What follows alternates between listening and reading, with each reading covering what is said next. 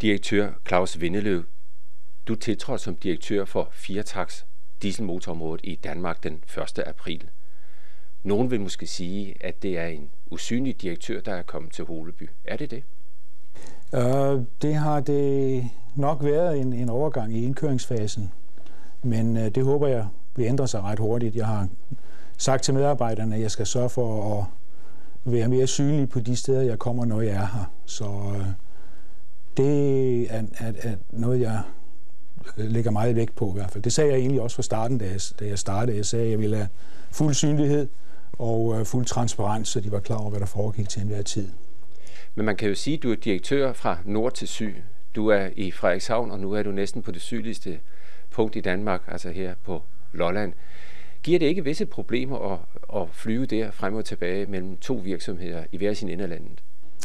Jo, det giver, det giver problemer. Det er der ingen tvivl om. Øh, jeg er nok mest synlig på landevejen øh, frem og tilbage. Vi har jo også refereret til vores nye firetaksdivision som Danmarks længste firma mellem øh, Frederikshavn og Holeby.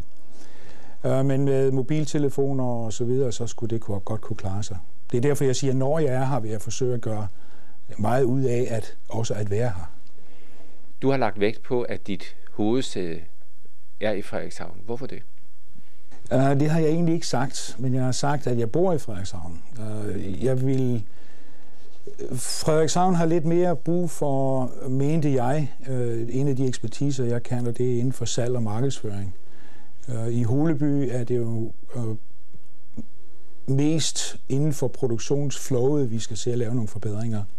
Så jeg mente, at min, øh, hvis jeg bosatte mig i Frederikshavn, så ville jeg sådan set have den balance, der lå i, i de ting, jeg skulle udføre.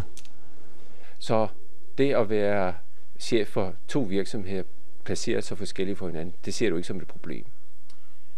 Nej, i begyndelsen er det et problem, fordi folk ikke kender mig og øh, derfor vil de sådan se små glimt af mig. Men øh, jeg benytter mig også meget af mine funktionschefer, og øh, jeg er helt sikker på, at når vi kommer længere ind, og vi får spredt, skal vi sige, ånden og fordelingen og beslutningsprocessen ned i organisationen, så vil der blive mindre fokus på, øh, hvem jeg er, eller ikke så meget, hvem jeg er, men hvor jeg er henne øh, i, i Danmark. Det vil jeg gå ud fra. Hvordan er Holby Dises placering inden for firetaksområdet i dag? Ja, inden for vores totale firetaksområde, der er det jo en, en meget vigtig del af, af MAN's øh, bestræbelser på at, at være bekendt på firetaksområdet, fordi det, vi er jo generatorspecialisten inden for firetaksområdet hos MAN. Vi er kendt som øh, dem, der pakker og sælger øh, motorer til elektrisk øh, generation, altså til elektricitet ombord på skibene og også til elektricitet på øh, kraftværker.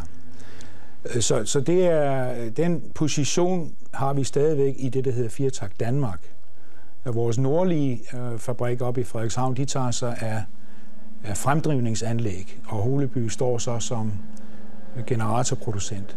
Og Holeby er jo, eller har jo i øjeblikket 50 procent af verdensmarkedsandelen på tungoliegeneration, eller på elektricitet ved brug af øh, tungolie. Hvordan vil Holebys fremtid være set med dine øjne og ud fra de markedsmæssige øh, betingelse, som verden nu engang er omgivet af i dag? Ja, det er jo, som jeg sagde, da jeg startede hernede, da vi, jeg talte til medarbejderne, så er det min øh, fulde og faste overbevisning, at vi kan ekspandere forretningen. Altså, vi ikke øh, skal spare os ud af den øh, mindre indtjening, eller nogen kalder det en krise, vi havde, men at vi simpelthen skal forøge omsætningen. Og det gør vi både i Holeby og gennem vores net af licenstager rundt omkring i verden, som også bygger på vores, efter vores design. Så jeg ser frem til, at det bliver en, en større forretning, altså med større omsætning. Da du tiltrådte som direktør, der foregik der jo en større omstrukturering. Øh, medarbejdere er blevet afskediget. Hvad skal det ses i lys i dag? Ja, det skal ses i lyset af, at Holeby, som jeg sagde lige tidligere, har en meget, eller havde en ret stor omsætning, har en stor omsætning, og det er sådan set en tilfredsstillende omsætning. Men indtjeningen stod ikke mål med omsætningen. Så derfor skulle der foretages en vis besparelse, der skulle foretages nogle effektiviseringer, og det gjorde man så ved at lægge det sammen med Frederikshavn, således at man sørger for, at samme dele kun bliver produceret et sted. Så øh, der foregår i øjeblikket en fordeling mellem de to steder på et produktionsbasis, hvor man siger, okay, Huleby er bedre til de dele, har produktionsarbejdet til montage, til afprøvning osv., så, videre, så det foregår her. Dermed var vi så i stand til at kunne gøre det mere effektivt. Og så er det jo klart, at så ved sammenlægningen, øh, hvor så man selvfølgelig bibeholder eller øger de timelønne, der kommer det til at gå ud over, øh, skal vi sige, funktionærstaben, fordi når man lægger to funktioner sammen, så vil det jo være, være ja, måske lidt for mange ledere, og det er så det, man har set, at, at vi har desværre måtte være nødsaget til at afskede nogle enkelte øh, folk på ledelsesplan og på funktionærplan. Men det skal ses i, i, i lyset af at sætte omkostningsniveauet ned, således at vi bedre, er bedre konkurrencedygtige på, markeds, på verdensmarkedet. Beskæftigelsesmæssigt, her tænker jeg både på timelønne og funktionærer, øh, ser du, at virksomheden vil kunne i fremtiden forøge sine medarbejdere, eller tror du mere på øh, det modsatte?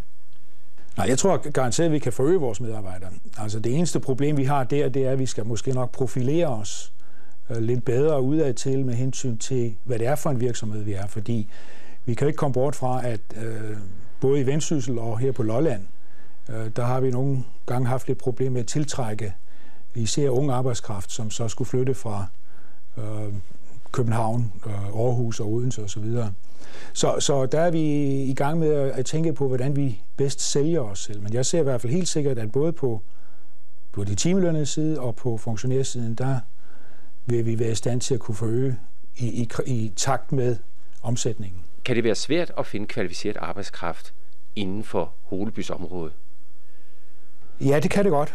Øh, vi har jo set, at vi til tider har haft svært ved at øh, tiltrække kvalificeret arbejdskraft, fordi vi jo ligger i et, et grænseområde. Vi ligger jo på Lolland, og, og i Frederikshavn ligger vi i Vendsyssel, og øh, derfor bliver vi nødt til at, at, at lave nogle yderligere tiltag, altså gøre, øh, forsøge at overbevise folk om, at det er en attraktiv arbejdsplads, det er øh, billigere at få en bolig osv., og, så og det er egentlig, at der er en hel del kulturelle øh, Øh, tiltag også i området, som gør, at, at folk, der kan, kan flytte fra København og Odense og Aarhus.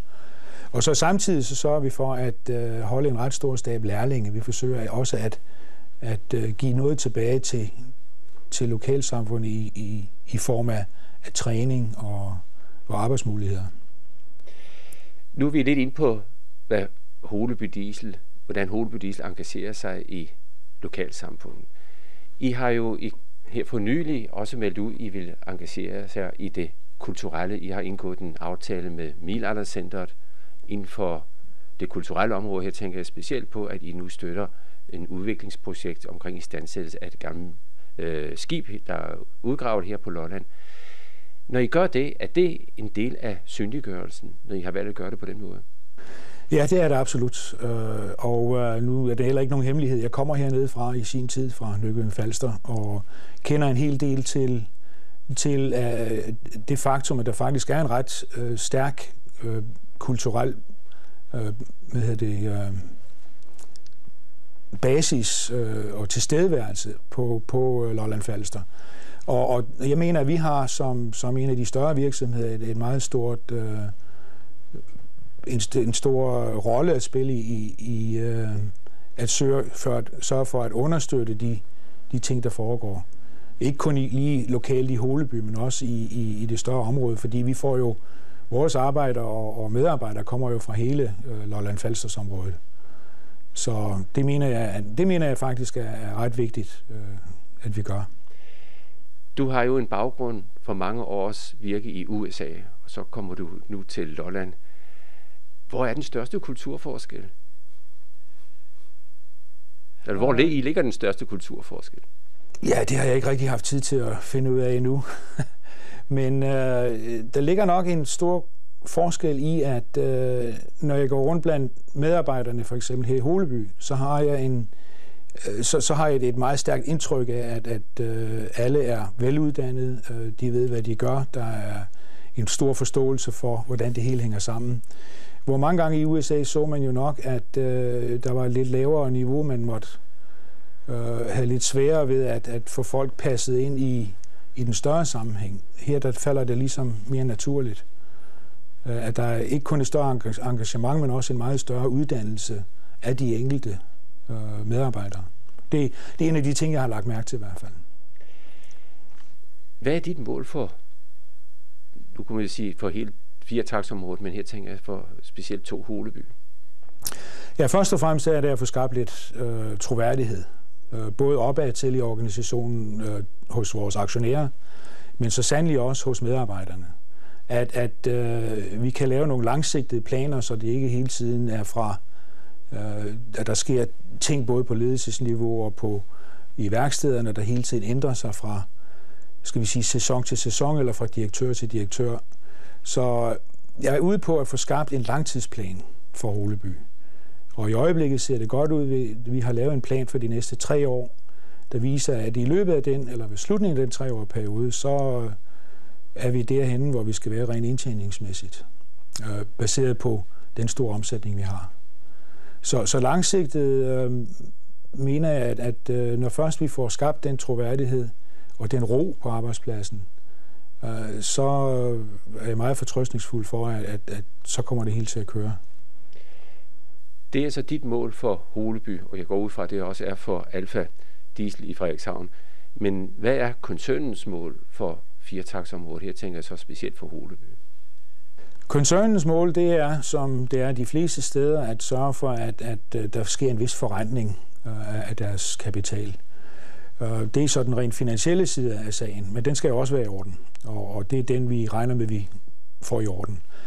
Øh, udover det, så passer Holeby og Alfa ind i den overordnede strategiske plan for koncernen, i og med, at de jo danner nogle, skal vi sige, nogle hjørnesten eller nogle, nogle områder inden for koncernen, hvor de har en rolle at fylde ud. For eksempel i Holebys tilfælde generatorsæt til kraftværker og, og øh, elektricitetsproduktion ombord på skibe.